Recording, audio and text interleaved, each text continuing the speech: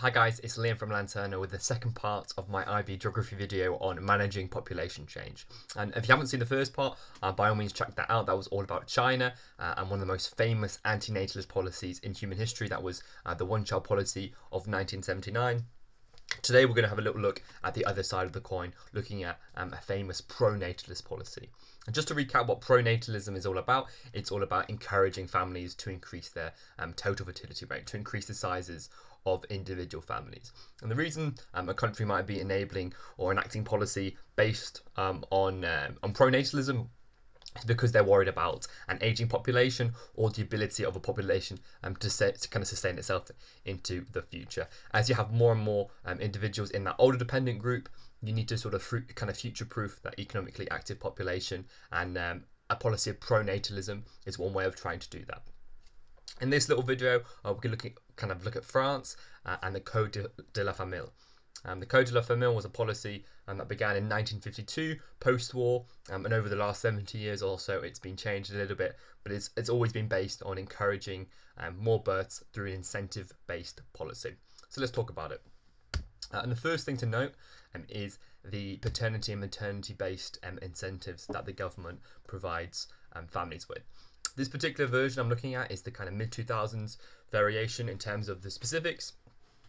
It was one of the bigger changes in the Code de la Famille, um, and that was based on the fact that um, the French government realised that the um, total fertility rate um, within the average family was dwindling compared to um, the rest of the European Union. France at the time had one of the lowest total fertility rates, um, and that was an issue. And these these incentives are the way that the government decided to try and fix that. And longer paternity and maternity leave is one way they try to do that.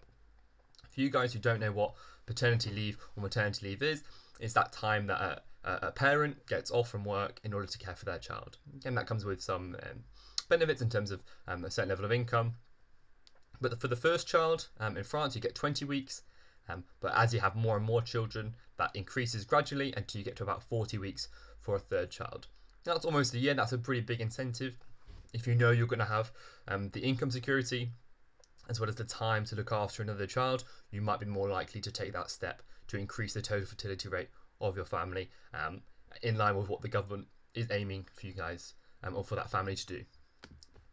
The second point um, is highly related. This is all about higher child benefits. Again, a financial incentive. Um, the more children you have, the more your in, your income is supplemented.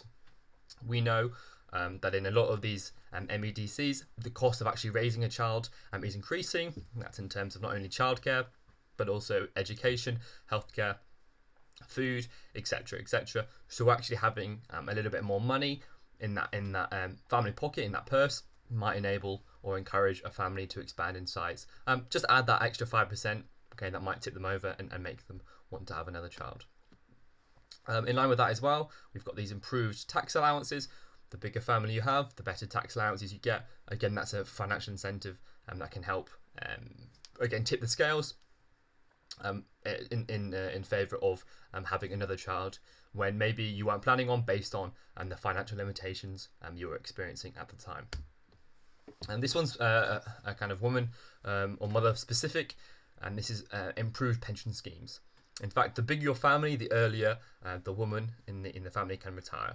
Or the mother, and because she's got a bigger family, the government recognises that and decides to reward her based on the fact that um, her family is slightly larger than um, another. Um, this one's a little bit more specific.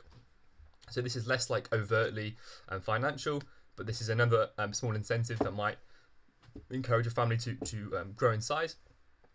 It's a reduction in public transport for three child families. Okay, 30% reduction. That's pretty significant. In a lot of these um, French cities, public uh, transport plays a central role in commuting in daily life. This again is another thing um, to add to the list of um, benefits. Um, and then finally, um, the provision of creches and day services. So creches, day services is all about childcare, looking after children when the parents have to work. That is one of the biggest issues that, that families face when they want to have a bigger family. How are they going to look after a child um, when they need to work or when they when they can't afford um, a nanny um, or, or, or, something similar. The French government recognises that and provides um, discounted creches and, and, day services to enable families to take that step if they want to. Um, the final point is preferential treatment in allocation of government housing. Um, so if you're a family and you're looking for um, government house, the bigger you are, um, the more likely you're going to, to, to have your needs fulfilled. You're kind of bumped up the list in terms of um, the allocation of government housing, and that's a really big thing. Obviously, housing is super important to um, living standards. Um, if you have a bigger family, that's only going to benefit you because you're able to better fulfill and better maintain that living standard that you're looking for. Uh, but did it work? This is just the last kind of um, two or three minutes on um, actually kind of evaluating the policy. You guys know as well as I do, um, it's really important that we um, evaluate when we're writing case studies and writing essays. By all means, check out um, one of the first videos I made, and that was based on how to write a really good geography essay.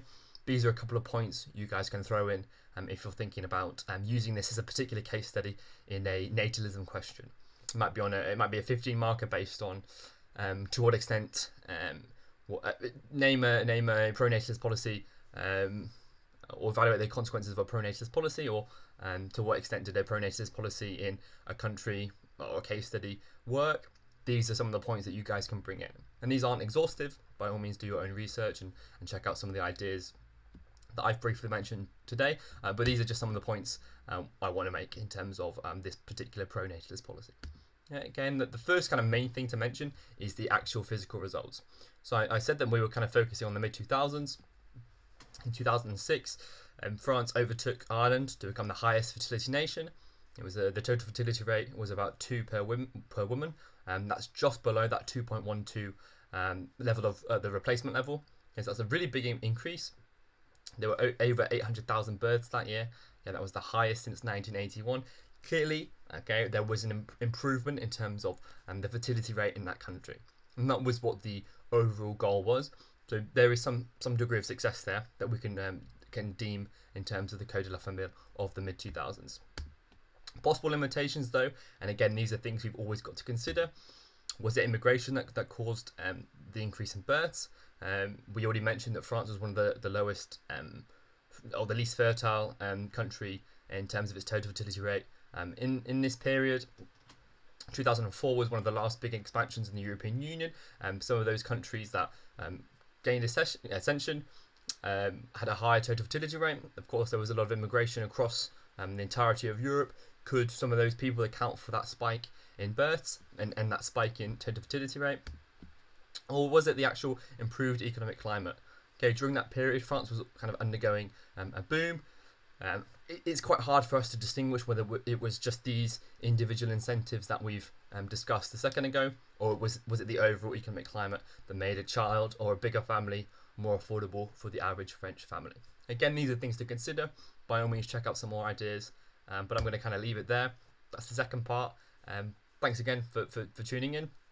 Got loads more videos coming. I've got a couple um, on megacities um, in a bit. And beyond that, if you guys have any questions, by all means, always email me, liam at lanternaeducation.com, and head out to our website. We've got loads of um, free guides. We've got a, a, a brand new um, blog section on, on, on all of these kind of ideas. By all means, check that out. And if you guys want more specific help, and we've also got all those tutors available to assist you. Um, but I'm going to leave it there. Thanks, thanks so much, guys, for, for tuning in.